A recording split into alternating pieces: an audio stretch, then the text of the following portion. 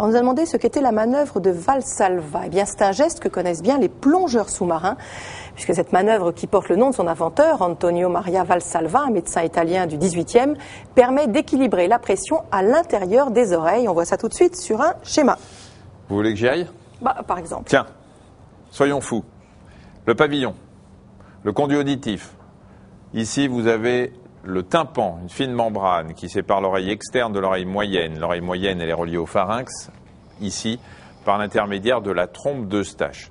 Alors, qu'est-ce qui se passe au cours d'une descente euh, en plongée? Eh bien, sous le poids de l'eau, ici, et puis, à cause de la pression, hein, eh bien, la pression à l'extérieur de l'oreille va augmenter, ça va comprimer l'air qui est contenu euh, dans l'oreille euh, moyenne, ici, ça se rétracte. En diminuant, cet air va tirer sur le tympan vers l'intérieur et ça entraîne une gêne, voire une douleur.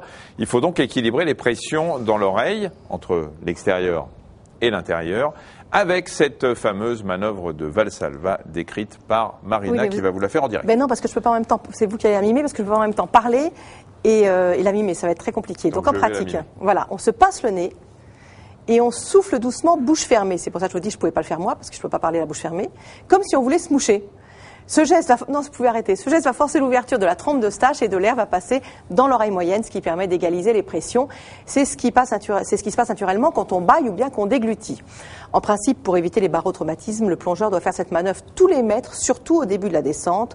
En revanche, elle est à proscrire lors de la remontée parce que les pressions là s'équilibrent naturellement. Et puis pour finir, sachez que ce geste est aussi employé en médecine, notamment en cardiologie. Oui, en augmentant la pression à l'intérieur du thorax, on va réduire le volume du cœur et des gros vaisseaux, un nerf qui, euh, que Marina va vous montrer dès que vous avez fini de boire. Allez-y, voilà. Excusez-moi, j'ai extrêmement soif. Je, suis je vous en prie. Si eh vous ben, voulez que je vous apporte un petit quelque chose à manger. Je vais vous euh. montrer, c'est jaune, c'est ce qui est en jaune. Vous voyez, j'ai même pas besoin de vous le montrer. Voilà, vous pouvez continuer. Alors donc, euh, et donc, ça stimule le nerf vague. Et l'objectif de la manœuvre, c'est de ralentir la fréquence cardiaque. Et ce geste peut être pratiqué chez certains patients qui souffrent de troubles du rythme, comme une accélération du rythme cardiaque. Juste attention, la manœuvre de Valsalva ne se fait pas quand on est enrhumé, sinon tous les germes qui sont dans le nez vont remonter vers les oreilles, ça vous donne des otites. Des otites en plus. Et comme de toute façon on ne doit pas faire de plongée quand on est enrhumé, la question ne se pose pas.